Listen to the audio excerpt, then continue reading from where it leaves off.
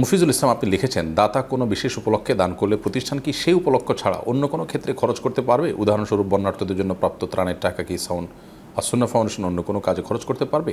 উত্তর হলো না।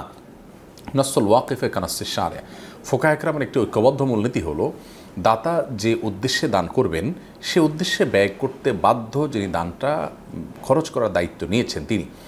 কারণ দাতার উক্তি, দাতার মন্তব্য, দাতার আপনার বিবরণ, বর্ণনা, এটা কেমন যেন শরীয়তের নির্দেশ। বিধায় তিনি যে জন্য দিয়েছেন সেই খাতেই খরচ করতে হবে।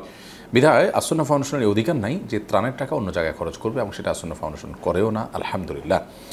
এরপর